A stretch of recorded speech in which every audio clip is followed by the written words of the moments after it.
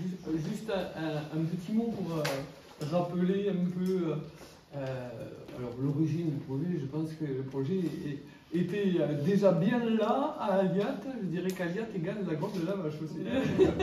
Donc, euh, euh, euh, je, je savais votre euh, attachement à, à ce projet, puis on s'était rencontrés à plusieurs reprises sur euh, les différentes phases de travaux qu'il y avait à, à mettre en place euh, pour vous accompagner. Et puis on avait euh, évoqué à l'époque comment on va exploiter euh, peut-être après, après ces phases de travaux. Donc voilà, DSP en place et, et c'est pas si simple que ça pour une petite commune d'a- d'aller mettre ce genre de procédure en place. Donc bravo à vos équipes, hein. je sais que vous êtes très mobilisés sur, vous étiez très mobilisés sur le sujet, vous l'êtes toujours d'ailleurs.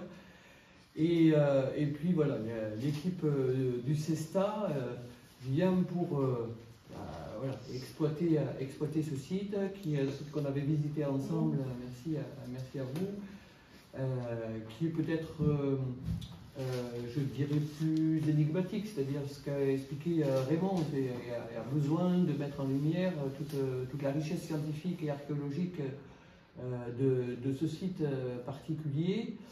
Euh, et donc, euh, moi, je veux remercier particulièrement les équipes du CESTA, alors qui ont pris déjà des, des sites complémentaires, vous le savez, euh, qui sont mobilisés sur la grotte de la Vache, comme ils le sont sur, sur les autres sites, bien entendu, qui va euh, amener une démarche particulière pour euh, faire la médiation, mais je sais que ils ont plein de cordes à leur arc et vous ne serez pas déçus, je peux vous le dire.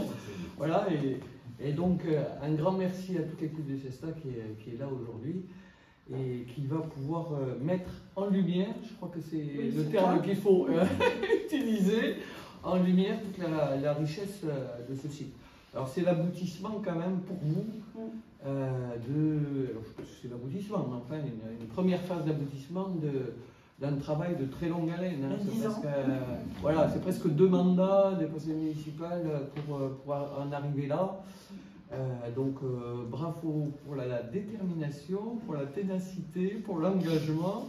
Et puis je dirais que voilà, ça va être un complément à, à à euh, qui, qui me paraît euh, euh, essentiel. Et merci à, tous ceux qui sont en bleu aujourd'hui et qui vont venir euh, faire euh, l'animation de, de ce site.